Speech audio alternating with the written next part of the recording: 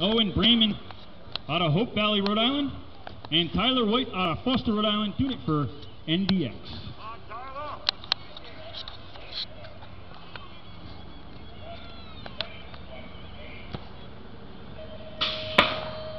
He drops down. White's got the holeshot. It's White.